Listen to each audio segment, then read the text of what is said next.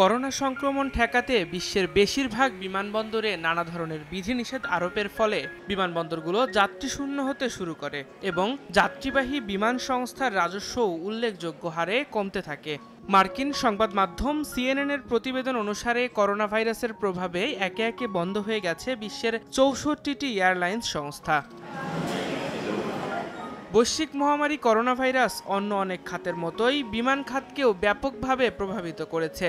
আন্তর্জাতিক উড়োজাহাজ ভ্রমণ সংস্থার টিকেটিং ডেটাবেজের তথ্য অনুযায়ী, সারা বিশ্বে দু এর প্রথম দিকের ফ্লাইট বুকিংয়ের সংখ্যা দু হাজার উনিশ সালের তুলনায় বাইশ শতাংশ কম।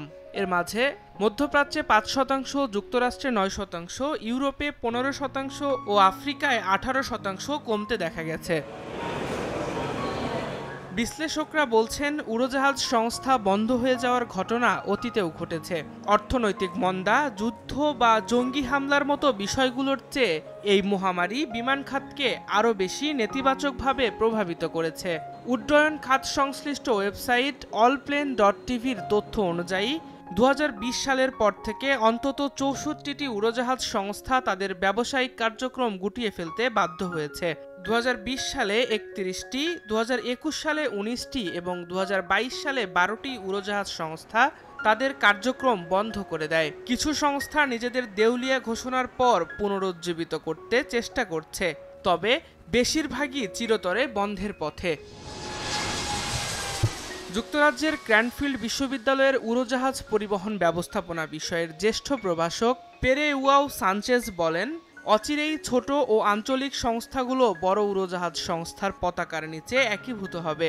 ইউরোপে এরই মধ্যে Aer Lingus, British Airways, Iberia Level ও ভুয়েলিংয়ের মালিকানা নিয়েছে উড়োজাহাজ সংস্থা আইআইজি।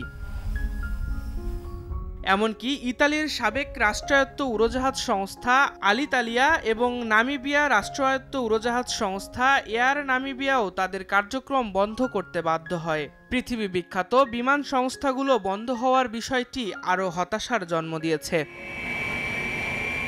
উড্ডয়ন সংক্রান্ত ওয়েবসাইট ফ্লাইট গ্লোবালের প্রধান মুরডো মারিসন জানান দু হাজার তেইশ সালে উড়োজাহাজের ভাড়া গড়ে ছত্রিশ শতাংশ বেড়েছে।